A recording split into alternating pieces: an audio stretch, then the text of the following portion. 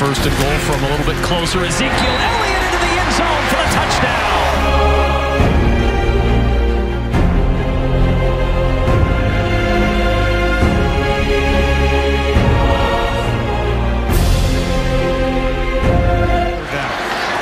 Snap to give up the middle